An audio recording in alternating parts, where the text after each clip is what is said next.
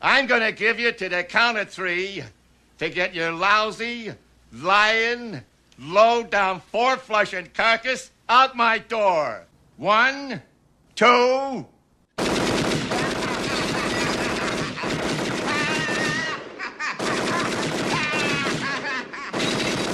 Three. Merry Christmas, you filthy animal. Welfare servants. You get them for free and either they're ridiculously broken, or you trade up as soon as someone better comes along. But the cool thing about today's contestant is that she has roles to play for both new players and the old guard, though not necessarily in the way you'd expect. Let's take a closer look. Santa Nightingale is a 4-star archer and you can get NP5 for free. For people with developing accounts, that means one thing. Beat stick duty. One of the biggest problems you have in the early game is just clearing things with any kind of speed. You typically don't have the servants or CEs to run one of the loop farming systems, meaning you have to get creative. Thankfully, archers have an edge in the rat race phase of account building because they have Arash. He does a ton of damage, he has a battery, and he can blow up a lot of first or even second waves against sabers and berserkers. On top of all this, he cycles himself out on account of his NP killing him, meaning you have some team building flexibility. And to add extra reach, you have Nightingale's third skill, Bell Rung by an Angel on the Holy Night. It's a party attack and crit damage buff. After Arash does his thing, it's the Nightingale show. Now if you don't have your own Skadi or any of the other 50% chargers, you can borrow one from your friends list and run Nightingale with a 50% CE. Her event comes with the powerful Traces of Christmases Past, which gives both quick performance and starting charge. This combo will let her get her NP off immediately and clear a wave. This will leave a wave unaccounted for, but you can deal with that either by brawling either wave 1 or 2, depending on your disposition. Not the fastest thing in the world, but faster than throwing in attackers willy-nilly. To make things a bit easier, Nightingale has a reasonably high attack for a 4-star archer.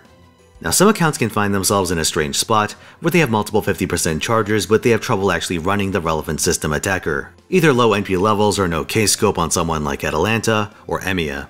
In that situation, you can actually leverage a combination of Arash and a party swap Mystic Code to help Nightingale NP twice. Arash kills the first wave, Nightingale's Craft Essence and the first support let you NP the second wave, and then once you get on the third wave, here's how it goes. Your second support is rotated in to replace Arash. They give their charge to Nightingale, and then you swap one of the expended supports out for your third support. They top Nightingale off, and then she blows up the final wave. To add a bit of spice, you work in Nightingale's second skill, which gives a multi-turn NP damage buff among other things. Those other things are a lot more relevant to our advanced applications, so let's see how endgame accounts use her.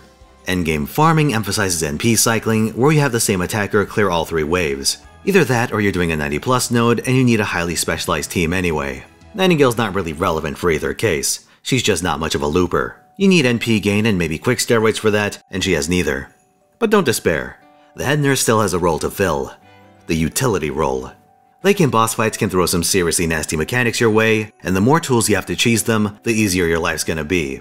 Nightingale's first skill, for instance. Assault Medicine, aside from sounding like a malpractice suit waiting to happen, does three things. It removes one debuff from your front line, also heals them, and it removes one buff from every enemy.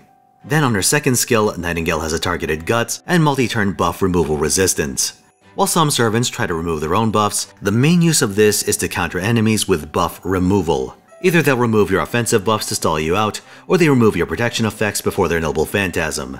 This counters both scenarios and it's a very rare effect.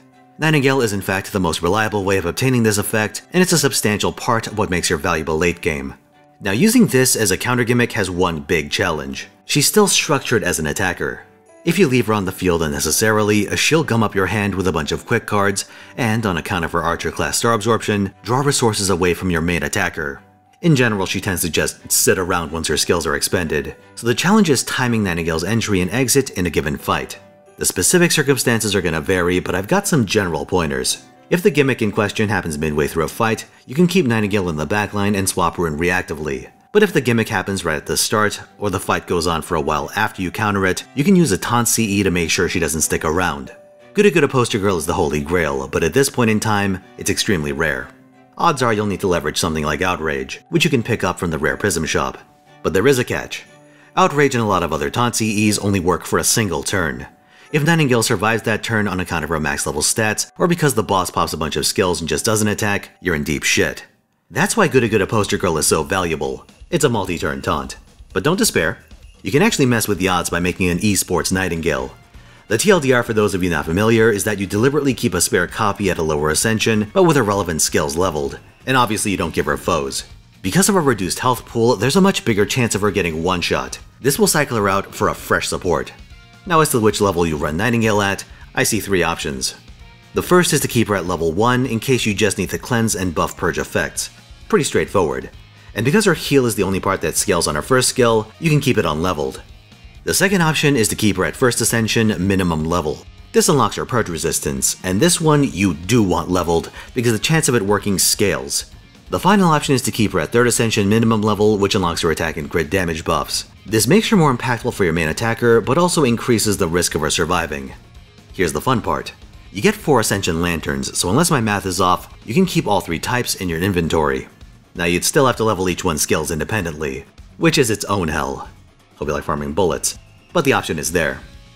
That's an easy choice for returning players to make. Keep your original Santa Nightingale at Max Ascension NP5, and the new ones can be kept separate for esports. But if you're a new player and you don't have any Nightingales, you'll have to make a hard choice. Either keep a complete Nightingale and make her worst friend game utility, or maintain a gimped copy that's far less useful in the early game. No easy answers there, but I'm very curious as to what you'd all pick in that situation. Let me know down below. Now let's talk a bit about her Noble Phantasm. It purges offensive buffs and applies a defense down, which is nice in the lower end scenario where she's your main attacker.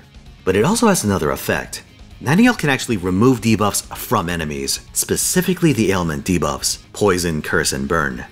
This is supposed to be a lore-based drawback, but you can hypothetically use it to your advantage. Sometimes enemies get stronger as they accumulate debuffs, typically Curse. For instance, there's an enemy about a third of the way through Lost Belt 6 that does this. I don't want to show it on account of spoilers, but you can actually use Nightingale's NP to fuck with it and remove all of its accumulated curses. Not the most practical thing in the world, but it is funny.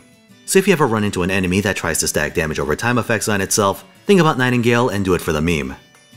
Santa Nightingale's not the greatest in regular combat, but in the early game she's a functional beatstick, and later on her utility lets you counter one of the most annoying mechanics in the game, Buff Purge. For this reason, you 100% should not miss your chance to get her, and even if you already have her, it's worth keeping spare copies around for esports. Would recommend. Now if you're curious about the original Nightingale, she's a pretty strange servant in her own right, and I actually have a video on her. So give it a watch, and I'll see you next time. Peace out.